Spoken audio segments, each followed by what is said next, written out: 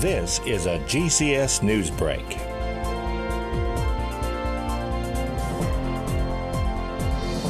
Though I haven't seen you, are you still there?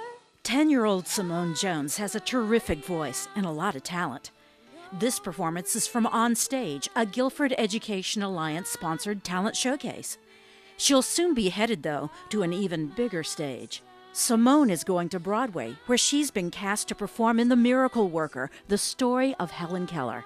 She'll be playing the part of Martha, Helen Keller's best friend. I love to sing because like every time I get on stage it feels so great like like you have so much fun like everyone's up there with me or I'm just by myself and I just feel like I'm supposed to be there this is my place I'm like it feels my time this is where I'm supposed to be. My turn. Simone is a fifth grader at Erwin Montessori, and she'll be leaving her class and Greensboro for at least six months. She'll be living in New York City with family during the run of the play. Simone's parents are quick to credit Erwin and the Montessori program for contributing to their daughter's success. Simone has been in the Erwin Montessori for seven years, and she's had excellent staff, excellent teachers that have really focused on helping her develop in the areas that she needs to grow in.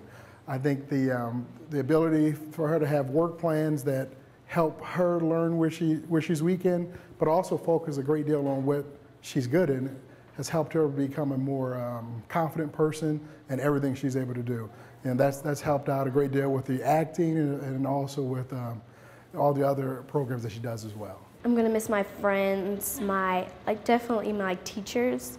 I love my teachers and I'm gonna miss my dad, but he's gonna be visiting like my little brother and my dad. Rehearsals for The Miracle Worker, the story of Helen Keller, begin in January, and the play opens on Broadway in March. I'm really excited because my dad said like when you go to Broadway you can't you can't go back down. You just got to keep climbing up. This has been a GCS News Break.